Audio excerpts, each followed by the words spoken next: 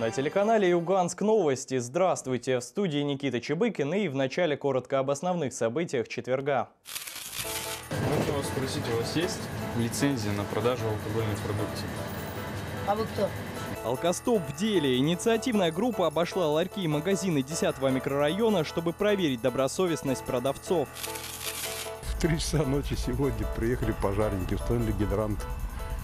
Ну, пошумели дети, поработали, уехали. Незапланированное наводнение, незакрытый полностью гидрант заставил жителей поволноваться. Что еще плечами? Накрывай, выше раскрыться. Это только начало. Перспективная тяжелоатлетка вернулась домой с бронзой. Общественное движение «Алкостоп» продолжает выводить на чистую воду тех, кто нелегально продает алкогольную продукцию. Накануне общественники посетили пять павильонов. Все они грешили незаконной торговлей спиртными напитками. Екатерина Саяпина с репортажем. Работники ларьков лучше других знают, где можно спрятать алкоголь. Например, за тонированными дверцами холодильников, в ящиках и даже на самодельных полках под потолком. Такая ситуация каждый раз открывается взором участников акции «Алкостоп». Цель общественников неизменна – проверить наличие лицензии на продажу алкогольной продукции. Напомним, что такой документ выдают магазинам с площадью свыше 50 квадратных метров. Павильоны такой квадратурой не располагают. Можно вас спросить, у вас есть лицензия на продажу алкогольной продукции? А вы кто? Я гражданин Российской Федерации, которому не безразлична вот эта тема. Ага. А что случилось? Но я... Давайте вы сначала на мой вопрос ответите. Да. А я продаю пиво или продала пиво? Реакция продавцов на вопросы о наличии лицензии разнообразна и непредсказуема. Одни делают вид, что не понимают, о чем идет речь, другие просят подождать приезда хозяина ларька. А сотрудница магазина «Апельсин» предложила нам проверить другие магазины, а их торговую точку оставить в покое. Вы в те магазины, я смотрю, приходите, да? Приходим во все. Зайдите в ларьки, там, где водка Только продается, что- да? Только что И чё? А ничего. Ну, там водка есть, Еще раз. водка там продается. Нет там. А ты плохо смотрел? Ну, я что Ну, увидел? вот видишь. Может, у вас здесь Ну, тоже пусть есть приезжает, у нас нет. Отойди ты, блин, я сейчас тебе камеру поломаю. Реакция жителей тоже не всегда однозначна. Одни заинтересованы в том, чтобы спиртное не продавалось в ларьках, поскольку такие торговые точки зачастую грешат еще и тем, что продают алкоголь несовершеннолетним. Другие же опасаются, что после таких акций киоск закроется и не хотят лишиться торговой точки в шаговой доступности от своего дома. Дело в том, что вы вот всегда стараетесь там клюнуть, где и так плохо. Это выгоднее. Чем нам выгодно? А потому что вы вот сейчас э, это э, его закроете. Мы его у не вас, закрываем, женщина. У вас сейчас такая будет отдушина, что вы вот что-то сделали. В этот раз алкостоповцы посетили пять магазинов в 10 микрорайоне. Ни один из них не смог похвастаться наличием лицензии. Зато спиртное общественники обнаружили во всех пяти ларьках. По словам руководителя движения, его команда продолжит обходить торговые точки с целью выявления нарушений, а также отслеживать результаты уже проделанной работы. Екатерина Саяпина, Евгений Трефилов, телерадиокомпания «Юганск».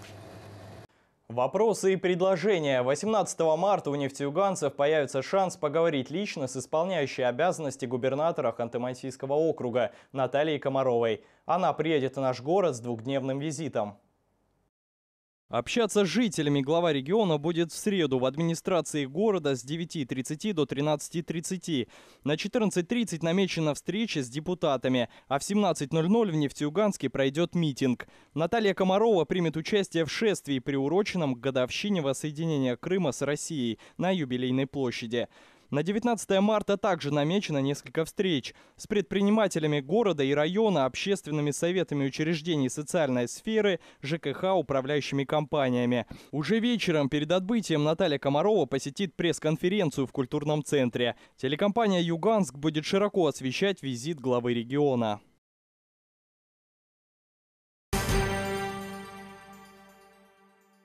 «216 миллионов рублей выделило правительство России на модернизацию общего и дошкольного образования в регионах. Средства получат 33 субъекта федерации, они определялись на конкурсной основе. Деньги будут направлены на повышение квалификации педагогов, а также на развитие образовательных программ для детей с ограниченными возможностями. Далее к новостям из мира финансов. Авиакомпания «ЮТР» и кредиторы договорились о реструктуризации долга. Она пройдет в несколько этапов, сообщает Интерфакс. При этом, по словам заместителя губернатора Югры Александра Кима, окружные власти и руководство Тюменской области разрабатывают свои меры поддержки перевозчика в связи с тем, что в компании работает около 8 тысяч югорчан и тюменцев. Напомним, в конце 2014 года сразу несколько кредиторов ЮТР подали в суд иски против авиакомпаний. По некоторым из них наложен арест на имущество перевозчика. На рассмотрение депутатов Госдумы поступил проект закона, позволяющего правительству устанавливать предельно допустимые оптовые цены на отдельные виды социально значимых продовольственных товаров, передает РИА Новости. Напомним, сейчас правительство вправе устанавливать предельно допустимые розничные цены на социально значимые продукты на срок не более 90 дней. Теперь такой же механизм предлагается ввести и в отношении оптовых цен. Дмитрий Медведев подписал распоряжение, в соответствии с которым утверждена программа развития Международного детского центра «Артек» на 2015-2020 годы. Отмечается, что цели программы – создание инновационного оздоровительно-образовательного пространства, разработка и внедрение педагогических технологий, позволяющих получить качественно новые образовательные результаты, соответствующие современным вызовам. Также запланировано развитие международной компоненты деятельности «Артека», передает Интерфакс.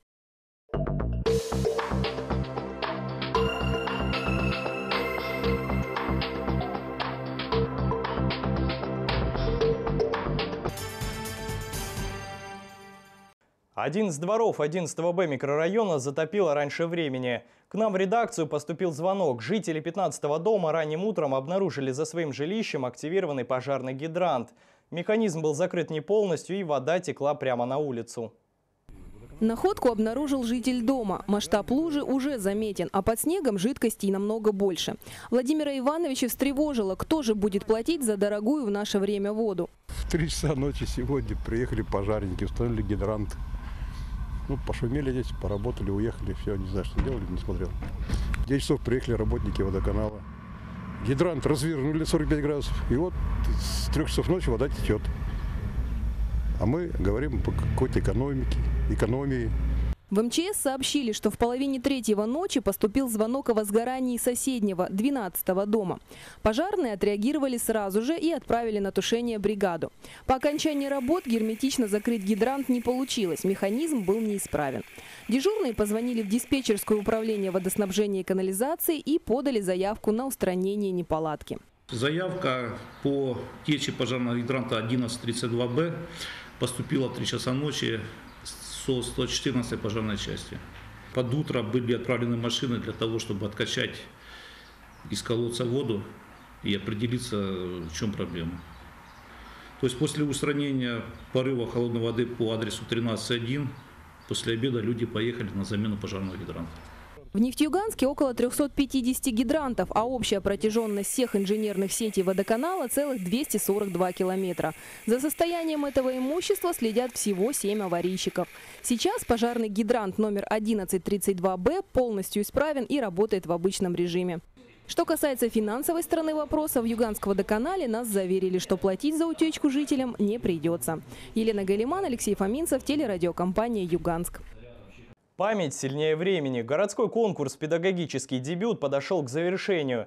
Последний этап мероприятия посвятили 70-летию победы в Великой Отечественной войне, где молодые учителя представили на суд зрителей и жюри свои исследовательские работы. Все проекты конкурсантов так или иначе были связаны с периодом войны. Каждый педагог представил выступления на разные темы. Родственники ветерана Великой Отечественной, блокадный Ленинград, дети войны и многие другие. Это очень символично, когда наши молодые педагоги э, предъявляют свой профессионализм, свое мастерство, творческие исследовательские работы именно в конкурсе «Память сильнее времени». Действительно, память должна быть сильнее времени. Четвертый завершающий этап конкурса «Педагогический дебют» добавит каждому участнику новые баллы. Напомним, 11 молодых учителей, воспитателей и педагогов-организаторов показывали жюри свой первый опыт преподавания. Это методика работы с детьми, открытые уроки и организация досуга учеников. Результаты конкурса будут известны завтра. Они знают их истории наизусть. Сегодня в рамках акции «Бессмертный полк» о ветеране-фронтовике расскажет второклассник Айдар Идрисов. Его прадед во время Великой Отечественной войны служил пулеметчиком. Мой прадед Садыков Тимирбай Тимирбаевич родился в 1908 году. В 1941 году, когда началась война, моему прадеду было 33 года. Его забрали на фронт со станции Давлеканово. Оттуда его отправили в Мурманск. Там его обучили на пулеметчика и отправили решать родину.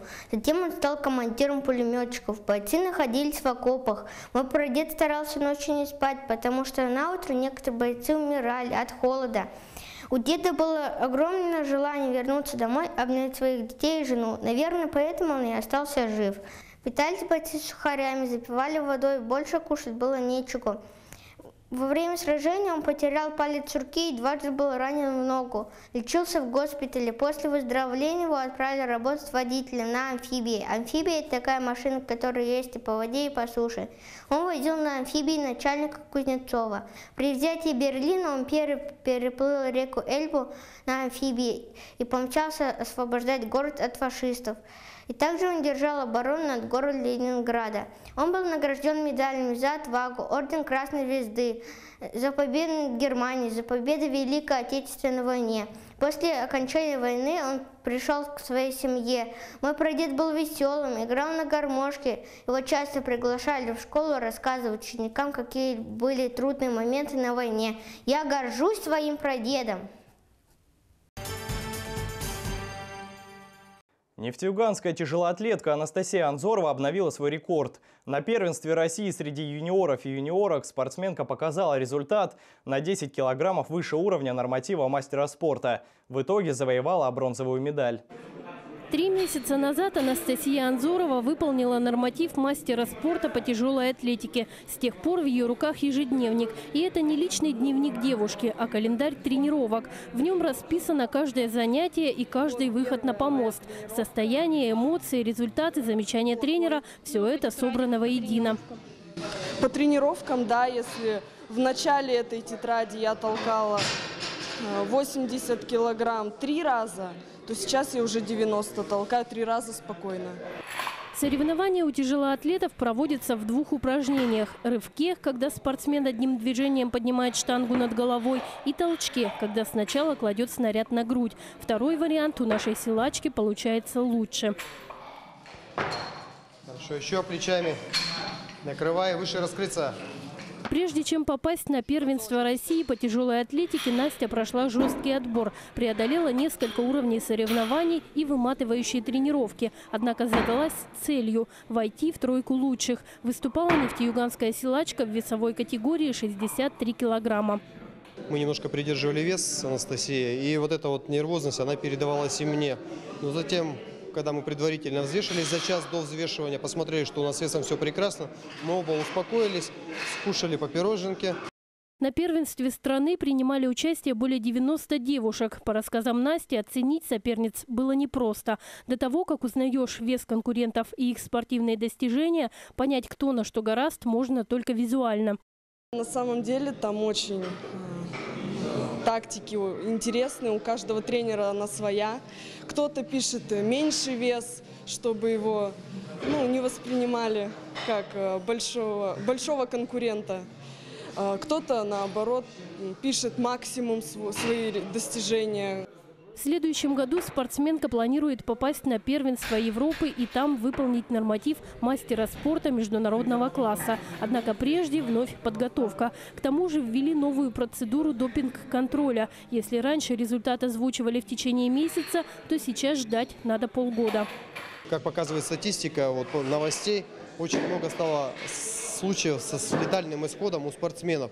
Поэтому было принято Россией РУСАДА, министерством вот, э, этой комиссии, именно э, тщательно подходить к пробам. На этих соревнованиях вот, очень много спортсменов просто снимали соревнований. По 5, по 6 человек практически в каждой весовой категории есть.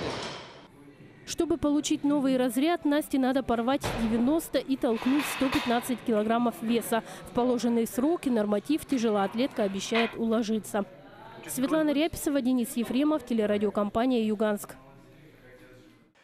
На этом все. Узнавайте о событиях города в программе «Сейчас в Нефтеюганске». И делайте новости вместе с нами. Звоните в будни 23 77 47. Всего вам доброго и до встречи в эфире.